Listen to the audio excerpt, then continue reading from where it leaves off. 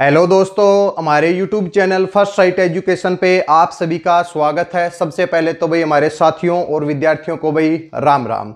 दोस्तों, आज का हमारा टॉपिक रहेगा संविधान में अनुच्छेद नंबर 243 जिसमें क्या बात हुई है?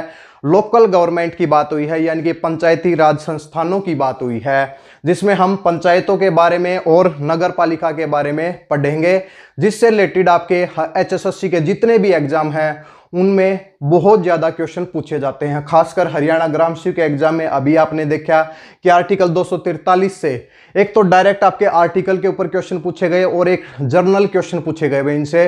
तो भाई बहुत ही महत्वपूर्ण आर्टिकल है भाई। आज इसको हम पूरा डिस्कस करेंगे। पंचायतें भी पढ़ेंगे और नगर पालिकाएँ भी पढ़ेंगे। आज की क्लास में हम केवल आर्टिकल पढ़ेंगे भाई। और फिर नेक्स्ट पार्ट में हम क्या पढ़ेंगे?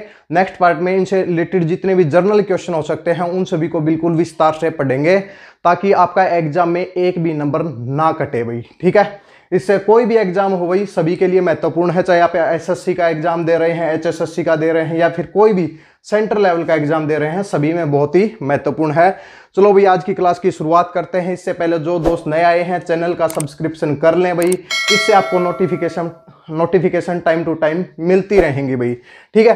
चलो भाई, शुरुआत करते हैं। देखिए आर्टिकल 243 243 में सबसे पहले बता देते हैं आर्टिकल 243 से और 243 ओ तक पंचायतों की बात हुई है। किसकी बात हुई है भाई? पंचायतों की बात हुई है और 243 पी से और 243 जड जी तक। किसकी बात हुई है? नगर पालिकाओं की बात हुई है। पहले तो ये डिवीज़न चेक करें भाई। 243 से 243 ओ तक हम पढ़ेंगे पंचायतों के बारे में। 243 पी से 243 जड जी तक कहाँ पे पढ़ेंगे? इसमें पढ़ेंगे हम नगर पालिका के बारे में भाई। ठीक है पहले पंचायतों की शुरुआत करते हैं। संविधान में दी पंचायत लिखा हुआ है। क्या लिखा हुआ है? दी पंचायत लिख, लिखा हुआ है। आर्टिकल 243 भाई। 243 में दी गई हैं भाई परिभाषाएँ। याद रखें भाई 243 में क्या है? परिभाषाएँ। परिभाषाएँ किसकी भाई? पंचायतों की परिभाषाएँ। पंचायत में क्या क्या आते हैं भाई? ग्राम सभा की परिभाषा, पंचायत की परिभाषा, इसके साथ में पॉपुलेशन की परिभाषा, इसके साथ में और कुछ जो भी टर्म आपकी पंचायतों में यूज़ होती है, उन सभी की जो डेफिनेशन यानी कि परिभाषा कहाँ पे दी हुई है? आर्टिकल 243 में दी हुई है। 243 में परिभाषाएँ। और यानी कि डेफिनेशन हिंदी और इंग्लिश दोनों को साथ में लेके चलेंगे भाई, ठीक है? इससे पहले हमने आर्टिकल 243 पहले भी डिस्कस किया है, लेकिन वहाँ पे हम कुछ ज़्यादा डिटेल में चले गए, उससे आपको थोड़ी सी कंफ्यूजन हो जाती है, इसलिए पॉइंट टू पॉइंट आज पढ़ेंगे भाई, ठीक है? आप नोट करने की बजाय एक स्क्रीनशॉट लेंगे और बाद में नोट करेंगे साथ साथ में नोट नहीं करेंगे, समझने के ऊपर ज़्यादा ध्यान देंगे भाई, ठीक है? आर्टिकल 243 ए में क्या बात हुई है? ग्राम सभा की बात हुई है और 243 कै में ग्राम सभा की बात हुई है। ग्राम सभा क्या होती है? ग्राम सभा जितने भी एक एरिया के अंदर जितने भी वोटर्स होते हैं, उनको मिला के क्या बनती है? उनको मिला के एक ग्राम सभा का गठन होता है। उस ग्राम सभा की शक्तियों के बारे में, यानी कि कैसे कार्य करेगी? संविधान ने उनको क्या क्या राज्य की विधानसभा ने उनको क्या शक्तियाँ दी हैं? उन सभी की बात कहाँ पर हुई है? दो कै में हुई है या फिर दो ए में हम बोल सकते हैं। हम एक पढ़ेंगे भाई, एक तरफ़ से पढ़ लेते हैं आप, इसके अनुसार आप अपने आप यानी कि सेट कर लेना भाई इनको। इसके बाद भाई आर्टिकल दो बी की बात करते हैं। कॉन्स्टिट्यूशन ऑफ़ द पंचायत यानी कि पंचायतों के गठन की बात हुई है। कौन से आर्टिकल में? आर्टिकल 243 बी में पंचायतों के गठन की बात हुई है भाई। ठीक है, किस प्रकार पंचायतों का गठन किया जाएगा? ये हमने हरियाणा पंचायती राज में भी बहुत अच्छे से पढ़ा है भाई। ठीक है इससे आगे की तरफ़ चलते हैं आर्टिकल 243 सी भाई 243 सी में क्या है? Composition of panchayat. यानी कि पंचायतों की संरचना किस प्रकार होगी? ये कौन से अनुच्छेद में दिया गया है? तो ये कौन से भाई आर्टिकल 243 सी में, या फिर हम कह सकते हैं आर्टिकल 243 गै में दिया हुआ है। किसमें दिया हुआ है? गै में दिया हुआ है कि किस प्रकार किस प्रकार वार्डों में, यानी कि एक एरिया कॉन्स्टिट्यूएंसी को वार्ड के अंदर बांटा जाएगा, उसमें किस प्रकार से इलेक्शन होगा, किस प्रकार से सदस्य चुने जाएँगे, इन सब की बात कहाँ पे हुई है? दो सौ में हुई है भाई, ठीक है? इसके बाद दो डी में चलते हैं रिजर्वेशन ऑफ़ सीट यानी कि स्थानों का आरक्षण, स्थानों का आरक्षण, यानी कि गय में। चार नंबर के ऊपर क्या आता है? गय आता है। चार नंबर के ऊपर क्या आता है? डी आता है, इसलिए डी और गय एक साथ हो गए स्थानों का आरक्षण, यानी कि शेड्यूल्ड कास्ट और शेड्यूल्ड ट्राइब के लिए आरक्षण किस प्रकार होगा? हमें पता है कि उनकी पॉपुलेशन के रेशियो के हिसाब से होता है। महिलाओं का आरक्षण किस प्रकार होगा? महिलाओं को 33 परसेंट आरक्षण दिया गया है, ये सभी आप लोग जानते हैं। हरियाणा में महिलाओं का आरक्षण 50 प्रतिशत कर दिया गया है। हम इससे पीछे हट जाते हैं भाई, यहाँ से हम इसको बताते हैं भाई। दो ई में क्या है कि भाई ड्यूरेशन ऑफ़ पंचायत है। ड्यूरेशन ऑफ़ पंचायत यानी कि पंचायतों का कार्यकाल की बात हुई है भाई। कौन सा आर्टिकल है भाई? तो आर्टिकल दो अड़े है भाई, ठीक है? आप सभी लोग जानते हैं, आपके एग्ज़ाम में कई बार पूछा भी जाता है कि पंचायतों का कार्यकाल कितना होता है तो हम कहते हैं कि भाई, कितना होता है भाई? पाँच साल का होता है, पाँच साल का कार्यकाल होता है। जब तक उनको भंग न किया जाए, कार्यकाल पाँच साल का होगा और जब उनको भंग कर दिया जाए तो फिर दोबारा से इलेक्शन कराए जाएँगे। छः महीने से अगर कम टाइम बचा हुआ है तो कोई इलेक्शन नहीं होगा। छः महीने से अगर ज़्यादा टाइम है तो छः महीने के अंदर इलेक्शन को कराया जाए। जो भी जो भी पंचायत बचेंगी, यानी कि बचे हुए टाइम पीरियड के लिए कार्य करेंगी। इसकी बात कहाँ पे हुई है? दो ई में हुई है। दोस्तों, हमने जितना भी हरियाणा पंचायती राज पढ़ा है उसमें, जितना भी है, वो इसी आर्टिकल से बनाया गया है। पहले संविधान ने हमें ये पावर दी है कि भी राज्य की विधानसभा को ये पावर दी है, फिर राज्य की विधानसभा ने उसी के हिसाब से अपना एक क्या बनाया है? एक्ट बनाया है, हरियाणा पंचायती राज एक्ट जो हम बोलते हैं भाई, ठीक है? यहाँ तक हम आ चुके हैं भाई। दो एफ़ के ऊपर बात करते हैं तो डिस्कालिफिकेशन फॉर दी मेंबरशिप यानी कि सदस्यों की निहरताएँ। निहरताएँ तो कोई हिंदी अच्छे से जानता होगा, वही उसको इसका वर्ड मीनिंग पता होगा। आप अपनी तरफ़ से क्या यूज़ कर सकते हैं? सदस्यों की अयोग्यताएँ। सदस्यों की अयोग्यताएँ की बात कहाँ पे हुई है? दो एफ़ में। इसमें कुछ ऐसा कहा गया है कि भाई जो भी, जो कि राज्य की विधानसभा का इलेक्शन लड़ सकता है, वो भाई जो राज्य की विधानसभा का इलेक्शन लड़ सकता है वो इसका भी इलेक्शन लड़ सकता है लेकिन एक कंडीशन है। साथ में ये भी दिया गया है कि जो राज्य की विधानसभा का इलेक्शन नहीं लड़ सकता वो इसका भी इलेक्शन नहीं, नहीं लड़ सकता केवल एक उम्र को छोड़ के क्योंकि राज्य की विधानसभा में एमएलए का इलेक्शन लड़ने के लिए 25 साल की उम्र चाहिए और यहाँ पे कितनी चाहिए? जनरल क्वेश्चन में भी करेंगे 21 साल। यानी कि इनका सदस्य पंचायत का सदस्य बनने के लिए कितनी उम्र चाहिए भाई? इक्कीस साल चाहिए भाई ठीक है? तो ये भाई इसके लिए कुछ अयोग्यताएँ दी गई हैं कि भाई वो किसी न किसी तरीके से यानी कि डिसक्वालीफाई है तो भाई उसमें बताया गया है। इसके बाद दो जी में भाई, दो जी में power authority and responsibility of panchayat यानी कि क्या है भाई? पंचायतों की शक्तियाँ, प्राधिकार और उत्तरदायित्व दो सौ में दिया गया है। इसमें कहा गया है कि राज्य की विधानसभा यानी कि पंचायतों को ऐसी शक्ति दे ताकि वो एक लोकल गवर्नमेंट के तरीके से यानी कि सेल्फ सेल्फ रूल, यानी कि सेल्फ गवर्नमेंट के तरीके से उसको किसी के ऊपर डिपेंड ना रहना पड़े। भाई ऐसी शक्तियाँ प्रोवाइड करे, ऐसे अधिकार प्रोवाइड करे, ताकि वो खुद अपने कार्य कर सके। भाई इसकी बात कहाँ पे हुई है? दो जी में हुई है। इसके बाद बढ़ते हैं दो एच में। Power to impose the taxes fund of the authority पंचायतों पंचायतों द्वारा कर अधिरोपित करने की शक्तियाँ व उनकी निधियाँ। यानी कि पंचायत कौन कौन से टैक्स लगा सकती हैं? ये भी कहा गया है कि राज्य की विधानसभा जो टैक्स लगा सकती है, वो पंचायतें भी टैक्स लगा सकती हैं। क्योंकि इनको भाई ये स्वशासन के तरीके से कार्य करेंगे भाई, ठीक है? तो टैक्स लगाने की बात और उनकी निधियों की बात कहाँ पे हुई है भाई? कहाँ पे हुई है? तो आर्टिकल दो एच में हुई है। एक हमारा डायरेक्ट डायलॉग है कि एक हर ग्राम पंचायत या ग्राम सभा का एक ग्राम फंड होना चाहिए। कौन सी धारा के अंतर्गत है? तो धारा उनतालीस के अंतर्गत है। ये भी हमने बहुत अच्छे से पढ़ाया है। हमारे दोस्त जानते होंगे भाई। ठीक है? तो ये दो एच तक कंप्लीट हुए भाई। अब हम आगे की तरफ़ बढ़ते हैं और कुछ आर्टिकल को देखते हैं। पहले आप इसका स्क्रीनशॉट लेंगे भाई। ठीक है भाई? चलो भाई, आगे की तरफ़ बढ़ते हैं भाई। आइए दोस्तों, इसके बाद देखते हैं आर्टिकल दो आई, यानी कि वित्त आयोग के गठन की बात। हुई है बहुत ही इंपॉर्टेंट आर्टिकल है भाई। वित्त आयोग के गठन की बात कौन से अनुच्छेद के अंतर्गत, यानी कि कौन से आर्टिकल के अंतर्गत हुई है तो आप बताएँगे। आर्टिकल दो आई, यानी कि नौवे नंबर के ऊपर है भाई। आई का नंबर कौन सा है? नौवे नंबर के ऊपर है। तो वित्त आयोग के गठन की बात कौन से आर्टिकल में हुई है? आर्टिकल दो आई में हुई है, यानी कि दो झ में हुई है। वित्तीय स्थिति के पुनर् पुनर्विलोकन के लिए वित्त आयोग का गठन। वित्त आयोग का गठन कौन करता है? भाई, सबसे पहली बात बता देते हैं।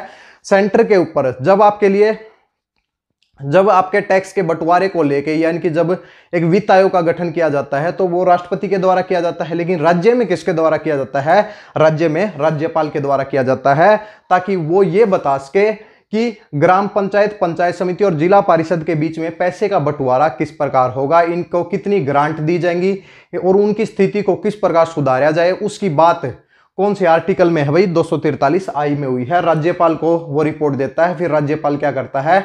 विधानसभा के सामने उसको पेश करता है। सेम टू सेम नगर पालिका में भी होगा। ठीक है, आपको याद रखना है। वित्त आयोग जर्नल क्वेश्चन कर लेंगे हम बाद में, जो भी जर्नल क्वेश्चन होंगे लेकिन अब आप याद रखेंगे, वित्त आयोग के गठन की बात कौन से आर्टिकल में हुई है? तो दो आई में हुई है। बहुत ही इंपॉर्टेंट आर्टिकल है भाई। इसके बाद दो जे में चलते हैं audit of account of the panchayat. यानी कि ऑडिट का मतलब होता है संप्रेक्षा। यानी कि जाँच करना भाई। खातों की जाँच की बात, यानी कि खातों की जाँच की बात कौन से संविधान के, कौन से आर्टिकल में हुई है तो आप याद रखेंगे, दो जे में हुई है, यानी कि यह में हुई है पंचायतों के लेखाओं की परीक्षा, यानी कि खातों की परीक्षा की बात कहाँ पे हुई है, दो सौ में हुई है, थोड़ा सा याद रखें भाई।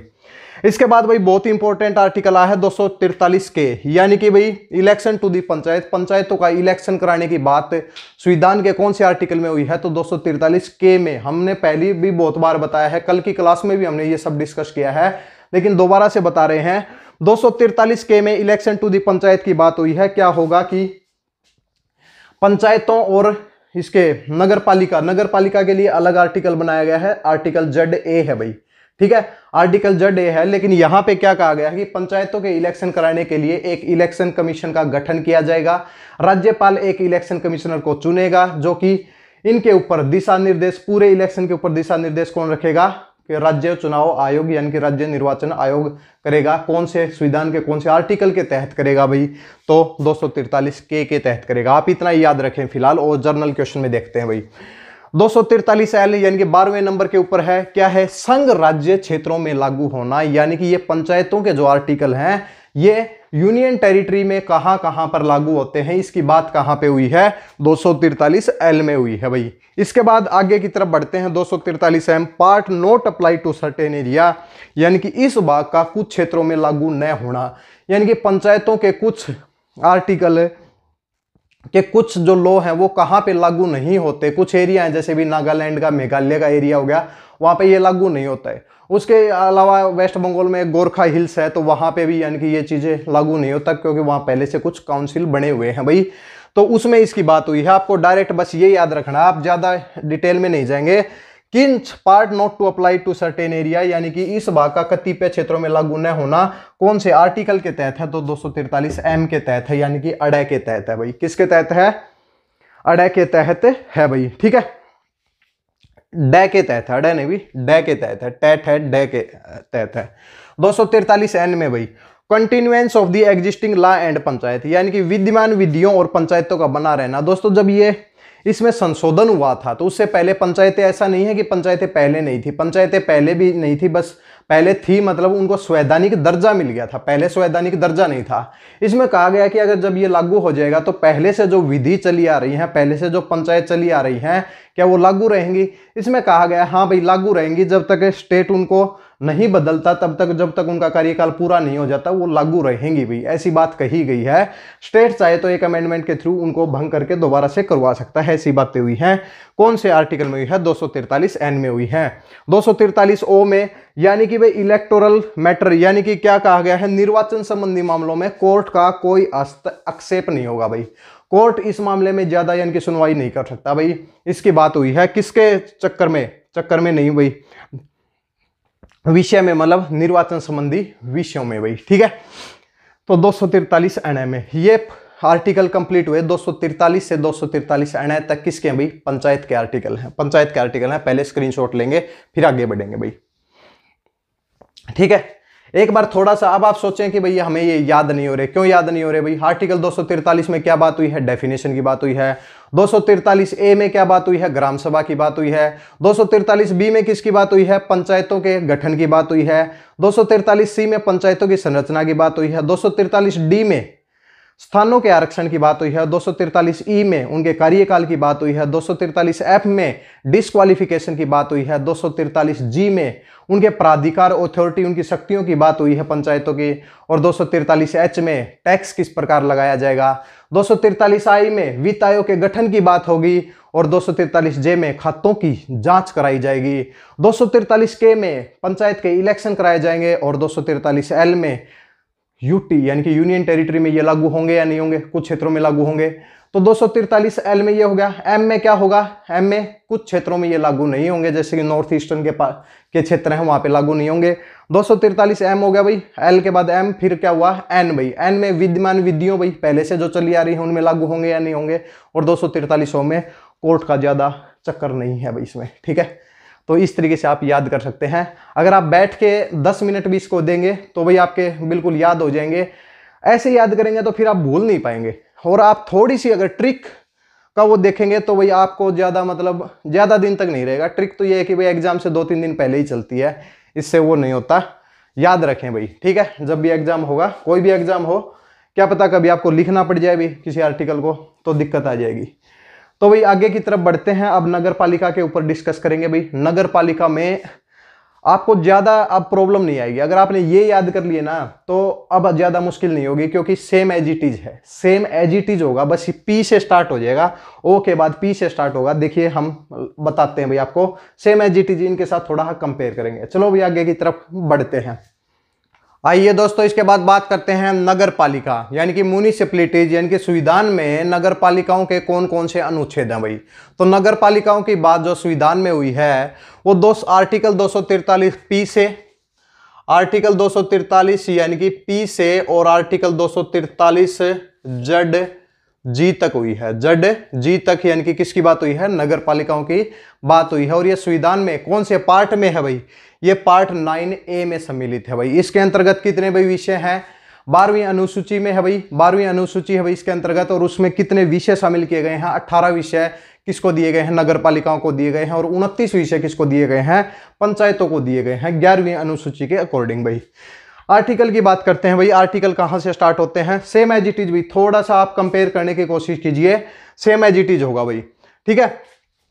आर्टिकल दो पी में क्या है? डेफिनेशन है। क्या है भाई? डेफिनेशन है। सेम एज इट इज़ चलते हैं भाई। अगर देखा जाए तो हमने पंचायत में पढ़ी थी तो भाई पंचायत में डेफिनेशन की बात कहाँ पे हुई थी भाई? आर्टिकल दो में बात हुई थी। किसमें बात हुई थी भाई? दो में। किसकी बात हुई थी? डेफिनेशन की बात हुई थी। तो नगर पालिका में जितनी भी जो टर्म यूज़ होती है, उनकी डेफिनेशन की बात कहाँ पे हुई है? तो आर्टिकल दो पी में हुई है। फिर उसके बाद क्या था? कि दो सौ तिरतालीस क्यू भाई कॉन्स्टिट्यूशन ऑफ़ म्यूनिसिपलिटीज जहाँ पे पंचायतों के गठन की बात थी, यहाँ पे किसके गठन की बात हो रही है? यहाँ पे नगर पालिका के गठन की बात हो रही है। तो नगर पालिका के गठन की बात कौन से आर्टिकल में हुई है? तो दो क्यू में हुई है, यानी कि दो तय के बाद थे थे में बात हुई है नगर पालिकाओं का गठन भाई। नगर पालिकाओं का गठन भाई। इसके बाद कंपोजिशन ऑफ़ दी म्यूनिसिपलिटीज यानी कि क्या है? नगर पालिकाओं की संरचना की नगर पालिकाएँ के अंदर कौन कौन से मेंबर होते हैं, किस चीज़ से ये बनी हुई है भाई? संविधान के अंतर्गत किन किन मेंबर को भाई म्यूनिसिपलिटी यानी कि नगर पालिका में शामिल किया जा सकता है, ये राज्य की विधानसभा के ऊपर छोड़ा गया है भाई, ठीक है? तो इसमें कंपोजिशन की बात कहाँ पे हुई है? आर में बात हुई है। देखिए पी में डेफिनेशन क्यू में उसके गठन की बात और आर में क्या है उसकी संरचना की बात। सेम एज इट इज़ वहाँ पे था डेफिनेशन फिर ग्राम सभा आई थी, फिर क्या था? पंचायतों का गठन और फिर पंचायतों की संरचना। सेम एज इट इज़ है भाई। अब यहाँ पे थोड़ी सी पी क्यू आर एस में देखिए भाई constitution and the composition of the ward committee यानी कि नगर पालिका के अंदर जो वार्ड कमेटी बनाई जाती है, उनकी कंपोजिशन और उनके गठन की बात कौन सी आर्टिकल में हुई है? तो दो एस में हुई है। एक ये थोड़ा सा अलग है भाई इसमें। बस ये अलग आया है। इसके अलावा यानी कि तीनों क्या है कि पंचायतों में भी थी और यहाँ भी है भाई। इसके बाद चलते हैं भाई दो टी में भाई। यहाँ पे देख लीजिए भाई, दह के अकॉर्डिंग वार्ड समितियों आदि का गठन की संरचना। इसके बाद दो नए में चलते हैं, यानी कि इंग्लिश में थोड़ा सा इजी होता है। दो टी में चलते हैं रिजर्वेशन ऑफ़ सीट यानी कि स्थानों का आरक्षण। कोई भी डिफरेंस नहीं है वहाँ पे पंचायतों के आरक्षण की बात थी। यहाँ पे किसकी है? नगर पालिका के सदस्यों के आरक्षण की बात है। सेम एज इट इज़ है, एक तिहाई महिलाओं के लिए है और पॉपुलेशन के रेशियो के हिसाब से एससी और एसटी का रिजर्वेशन किया गया है। आर्टिकल याद रखेंगे आर्टिकल दो एस में यह बात हुई है। नहीं नहीं नहीं भाई आर्टिकल दो टी में बात हुई है। रिजर्वेशन ऑफ़ सीट की बात है टी में कर रहे थे, ये तो हम पढ़ चुके हैं। इसके बाद दो से यू में यू में क्या बात हुई है? ड्यूरेशन ऑफ़ द म्यूनिसिपलिटीज यानी कि नगर पालिकाओं के कार्यकाल की बात हुई है। कितना कार्यकाल होता है भाई? पाँच साल होता है। पहली मीटिंग से, ये याद रखें भाई जिस दिन इलेक्शन हुए, उस दिन से पाँच साल नहीं होता। पहली मीटिंग जब होती है, उससे पाँच साल होता है। जितने भी हमारे, चाहे हम पार्लियामेंट की बात करें, चाहे हम किसी चीज़ की बात करें, उनकी जिस दिन पहली मीटिंग होती है, उससे पाँच साल गिने जाते हैं। वही पंचायतों में भी ऐसा होता है। जब तक बंगना किया जाए, नगर पालिकाओं का कार्यकाल कितने साल का होता है? पाँच साल का होता है। कितना होता है भाई? पाँच साल का होता है। लेकिन ये बात कौन से आर्टिकल में हुई है? दो टी में बात हुई है और वहाँ पे दो पै पैप और पतंग में बात हुई है भाई। ठीक है भाई? दो वी में चलते हैं भाई। वी में क्या है? डिस्कालिफिकेशन फॉर द मेंबरशिप यानी कि सदस्यों के लिए निहरताएँ। और वहाँ पे फै फैफ और फल में किसकी बात हुई है? सदस्यों के लिए निहरताएँ। क्या क्या डिस्कालिफिकेशन है भाई? डिस्कालिफिकेशन है कि अगर राज्य की विधानसभा का चुनाव नहीं लड़ सकता तो ये चुनाव भी नहीं लड़ सकता भाई।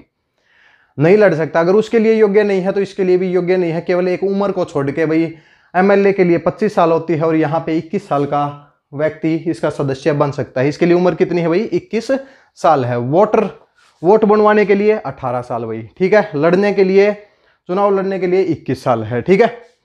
इसके बाद दो डब्लू में चलते हैं। Power authority and responsibility of नगर पालिका नगर पालिका की शक्तियाँ, प्राधिकार और उत्तरदायित्व, यानी कि दो सौ बै में बात हुई है। यानी कि शक्तियाँ, यानी कि राज्य की विधानसभा इनको ऐसी शक्तियाँ देगी ताकि ये लोकल गवर्नमेंट के तरीके से, स्वशासित तरीके से, यानी कि खुद किसी के ऊपर डिपेंड ना हो भाई, इस तरीके से ये कार्य कर सके। इनको ग्रांट देगी, सो बहुत ज़्यादा चीज़ें होती हैं, ठीक है?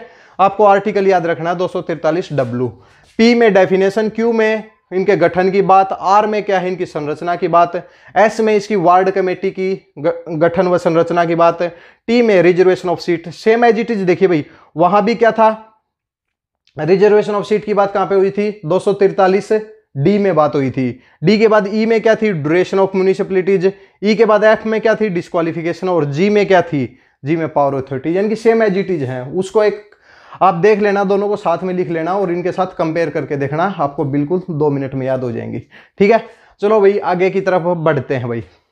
आइए दोस्तों, इसके बाद बात करते हैं आर्टिकल दो एक्स यानी कि power to impose the taxes and the funds of the municipalities यानी कि नगर पालिकाओं की टैक्स लगाने की शक्ति और उनके पैसे की बात कौन संविधान के कौन से अनुच्छेद में हुई है, यानी कि आर्टिकल में हुई है।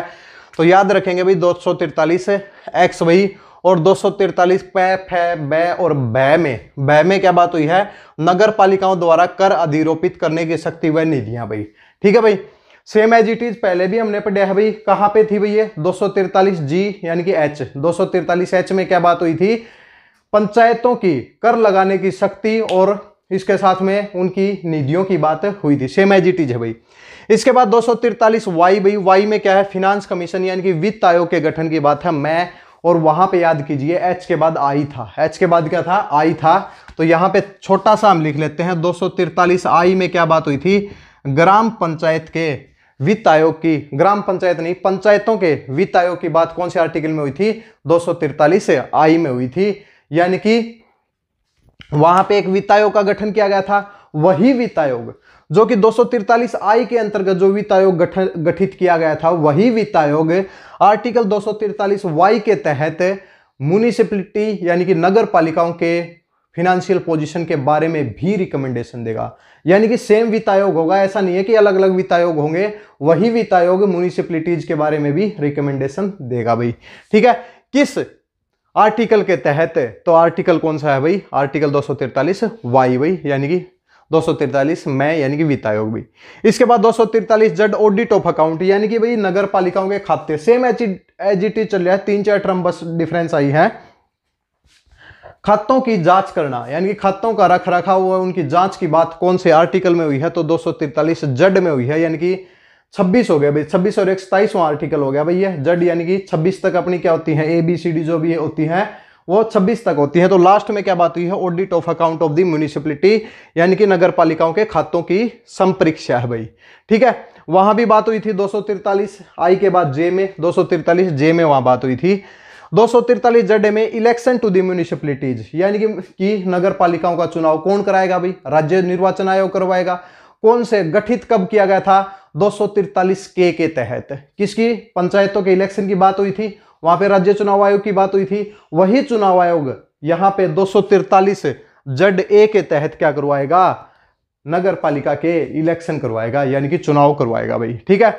दो जड भी एज इट इज़ भाई एप्लीकेबल टू यूनियन टेरिटरीज संघ क्षेत्रों में इसको लागू करना भाई, संघ क्षेत्रों में इसको लागू करना। दो Z C part not apply to certain area किन क्षेत्र के अंदर भाई? नगर पालिका के ये जो लॉज हैं, ये लागू नहीं होते हैं। वहाँ भी बात हुई थी, दो एल में बात हुई थी। सेम एज इट इज़ है भाई। दोनों को आप थोड़ा सा रिलेट कीजिए। इसके साथ में दो सौ Z D committee for the district planning ये कुछ अलग आया है भाई। यानी कि जिला योजना समिति का गठन किया जाएगा भाई। किसके तहत? म्यूनिसिपलिटी में जिला योजना समिति, यानी कि शहरों का शहरों के विकास के लिए एक जिला योजना समिति का गठन किया जाएगा। याद रखना, बहुत ही इंपॉर्टेंट आर्टिकल है, ये समझ लीजिए। आपके एग्ज़ाम में डायरेक्ट आ सकता है, क्योंकि इसकी तो बहुत बार चर्चा हो चुकी है। हरियाणा पंचायती राज अधिनियम में सारी चर्चा यही हो रही थी भाई। जिला योजना समिति की भी बात हो रही थी। तो याद कीजिए भाई, दो जड डी के तहत किसकी बात है? जिला योजना समिति की गठन की बात हुई है। और यहाँ पे क्या है? ये घ देखिए भाई, ये आने के बाद यहाँ 26 के ऊपर जड जड के बाद ए से स्टार्ट हुआ। तो यहाँ फिर दोबारा से कैसे स्टार्ट कर दिया गया है? हिंदी में थोड़ा मुश्किल है भाई, अगर देखा जाए तो। दो सौ तिरतालीस जेड ई भाई, यानी कि कमेटी फॉर दी मेट्रोपोलिटन भाई। मेट्रोपोलिटन एरिया के लिए मेट्रोपॉलिटन सिटी के लिए क्या क्या प्लानिंग की जाएँगी, उसके लिए कौन सी कमेटी गठित की जाएँगी, इन सब की बात कहाँ पे हुई है? दो सौ तिरतालीस जेड ई में हुई है। ये बिल्कुल अलग है भाई, दो ये आपके पंचायत में नहीं थी, लेकिन अब ये शहरों के ऊपर अब हम आए हैं तो ये बिल्कुल अलग है भाई दो। इसके बाद दोबारा आ जाइए भाई देखिए, इनके अगर देखा जाए तो जर्नल क्वेश्चन के अब हमारे में से कोई दोस्त कहेगा कि सर, इनके बारे में बताइए। देखिए, बताएँगे तो बहुत लंबी क्लास हो जाएगी। जर्नल क्वेश्चन के अंदर सभी की डेफिनेशन को इनसे रिलेटेड क्वेश्चन को ऐड कर दिया जाएगा। पहले ये हम क्लैरिफाई कर रहे हैं भाई, ठीक है? दो सौ तिरतालीस जेड एफ़ भाई continuance of the existing law and the municipalities यानी कि जो भी विद्यमान विधियाँ या फिर लॉ एग्जिस्ट कर रहे हैं, जो पहले से म्यूनिसिपलिटी चली आ रही हैं, उन सब का क्या होगा? क्या वो कंटिन्यू रहेंगी? हाँ भाई कंटिन्यू रहेंगी। लेकिन कुछ नियम व शर्तों के साथ जो कि इस संविधान के इस आर्टिकल में दी गई है, दो सौ तिरतालीस ये में या फिर जेड एफ़ में भाई अब लास्ट है भाई, निर्वाचन। जैसे कि दो सौ तिरतालीस में क्या बात हुई थी? कोर्ट का कोई इंटरफेरेंस नहीं है। Bar to interference the court in the terms of the electoral matter यानी कि भाई, निर्वाचन संबंधी मामलों में कोर्ट के हस्तक्षेप का वर्जन है भाई। कौन से आर्टिकल में दो सौ तिरतालीस यह गया? और दो सौ तिरतालीस यहाँ पे लिख रहे हैं भाई जड जी जड जी ये लिख लेना भाई, बार टू इंटरफेरेंस भाई। जैसे दो सौ तिरतालीस ओ लिखा है वैसे ही आप इसको लिख सकते हैं, bar to interference of the courts भाई। ठीक है? तो भाई ये हमारे थे भाई दो के सभी आर्टिकल आपको एक ही क्लास के अंदर पूरे कंप्लीट करा दिए गए हैं। ठीक है? उम्मीद करते हैं आप सभी को क्लियर हुए होंगे। थोड़ा सा इनके समझ, बीच में एनालॉजी खुद करके देखिए भाई, आपको अपने आप समझ में आ जाएगा। ये तो समझ लीजिए कि भाई इससे एक क्वेश्चन तो आपका डायरेक्ट इस आर्टिकल के ऊपर और दो से तीन क्वेश्चन इनके बीच से जो जर्नल क्वेश्चन हो सकते हैं, वो पूछे जाएँगे भाई। पूछे जाएँगे, इसके लिए पंचायती राज के लिए कौन सी कौन सी कमेटी, बलवंत राय मेहता कमेटी, इसके बाद अशोक मेहता कमेटी, इन सब की कमेटी के ऊपर भी क्वेश्चन आने की बहुत बहुत संभावना रहती है। इसके साथ में हमने हरियाणा पंचायती राज अधिनियम की धाराएँ तो पढ़ ली हैं, थोड़ी बहुत बाकी हैं। लैंड रिकॉर्ड कंप्लीट हो चुका है। नहरी पटवारी की एक क्लास और बाकी है। यानी कि हमने ऐसा माहौल तैयार किया है कि सब चीज़ों को कोई भी चीज़ छोड़ी नहीं जाएगी। और यहाँ पे अगर आप 20 15 से 20 नंबर अगर पक्के कर लेते हैं तो कोई भी आपके सिलेक्शन को रोक नहीं सकता। जहाँ पे नंबर कटने की बात आती है, जहाँ पे हम छोड़ने की बात करते हैं, हम वहीं से स्टार्ट करते हैं। जहाँ आप सोच रहे हैं कि यहाँ से तो देख लेंगे, भाई ये दो क्वेश्चन तो ठीक हो ही जाएँगे दस में से। हम वहीं से उठाते हैं। जहाँ से आपके नंबर कटने स्टार्ट होते हैं, हमने वहीं से पढ़ाना स्टार्ट किया है भाई। ठीक है? वैसे हरियाणा जी के तो लगभग बच्चों को क्लियर है, वहाँ से आपके ज़्यादा नंबर नहीं कटते हैं। लेकर कट भी रहे हैं तो भाई उसको स्ट्रॉन्ग बनाइए भाई। वहाँ से अगर हरियाणा जी के से आपके क्वेश्चन कट रहे हैं नंबर कट रहे हैं तो उसको स्ट्रॉन्ग बनाइए भाई, उसके ऊपर ज़्यादा ध्यान दीजिए भाई। हमने पहले भी कहा है कि जो हम पढ़ा रहे हैं, उसके ऊपर दिन में आप मैक्सिमम एक से डेढ़ घंटा देंगे, इससे ज़्यादा टाइम नहीं देंगे भाई। चाहे वो बात अलग अलग ये नहीं कि हरियाणा पंचायती राज के लिए एक घंटा देंगे, एक घंटा लैंड पटवारी के स्पेशल सब्जेक्ट के लिए दें। नहीं भाई। एक दिन में आपको स्पेशल सब्जेक्ट के लिए ये समझ सकते हैं कि आपका जो भी हम पढ़ा रहे हैं, ये बीस नंबर के करीब है मतलब। अगर ये सब बीस नंबर के करीब है तो आप ये सोच लीजिए कि भाई नब्बे का अगर पेपर है तो आप सत्तर के ऊपर आ जाइए। सत्तर के ऊपर आ जाइए और इसको एक घंटा दीजिए दिन में। जो भी आपको पढ़ाया जा रहा है, आपको अगर आज लैंड रिकॉर्ड पढ़ने का मन है तो लैंड रिकॉर्ड पढ़िए भाई। आज आपका यानी कि और कुछ पढ़ने का मन है, आप और कुछ पढ़िए भाई। लेकिन एक से डेढ़ घंटा से ज़्यादा नहीं पढ़ेंगे, ठीक है? क्योंकि इसके ऊपर ज़्यादा आपको, अगर हर रोज भी अगर एक डेढ़ घंटा पढ़ेंगे तो आपका ये ऐसा सब्जेक्ट हो जाएगा, बीस में से आपके बीस नंबर भी आ सकते हैं, क्या नाम है? ठीक है? तो फिर बा, फिर से हम कर रहे हैं जो कुछ टीचर कहते हैं कि भाई इसी को पढ़िए, इसी को पढ़िए। नहीं भाई, हमारा जो पहली जो स्ट्रेटजी हमने बताई है, उसके बारे में हम एक दिन क्लास भी लेके आएँगे कि किस प्रकार पढ़ना है।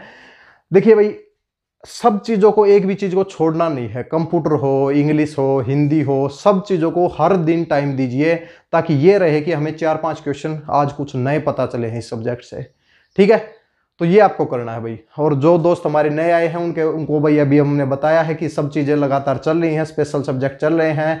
हरियाणा पुलिस की भी अगर आप तैयारी कर रहे हैं, चाहे आप स्टाफ नर्स की तैयारी कर रहे हैं, किसी भी चीज़ की तैयारी कर रहे हैं एचएसएससी का कोई भी एग्ज़ाम की तैयारी कर रहे हैं, आज की क्लास बहुत ही महत्वपूर्ण है।